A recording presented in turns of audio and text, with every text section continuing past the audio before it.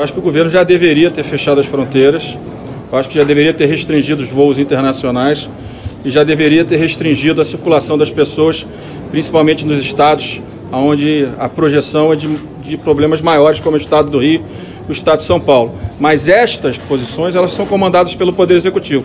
Se fosse a minha opinião pessoal, pelo que eu vejo dos melhores exemplos no resto do mundo, né, eu acho que já deveria ter fechado as fronteiras, já deveria ter restringido os voos internacionais no mínimo e já deveria ter criado um, um plano de contingência no Rio e São Paulo para que a, a circulação ficasse restrita àqueles que de fato precisam garantir o abastecimento de alimento, entre outras questões que são urgentes, né? porque a gente não pode, é, pela questão econômica, né, correr o risco de ter um problema maior na área de saúde pública.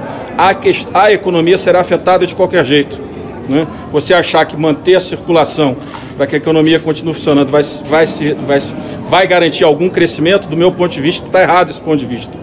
Porque na hora que os problemas começarem a aumentar, as pessoas naturalmente vão ficar em casa.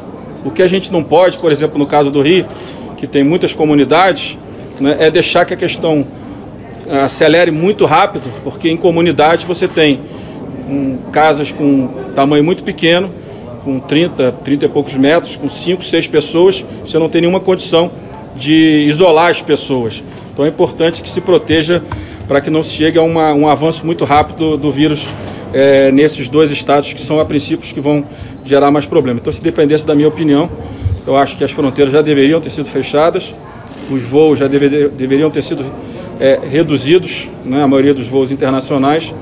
E o quarto ponto que eu acho que o governo já deveria ter pensado em políticas públicas é, com uma ampliação do gasto público, como todos os países vêm fazendo.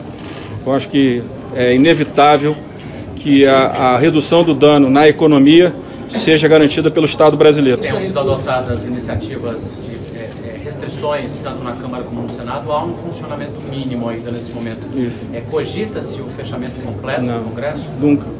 O Congresso brasileiro fechou só na ditadura, não vai fechar mais.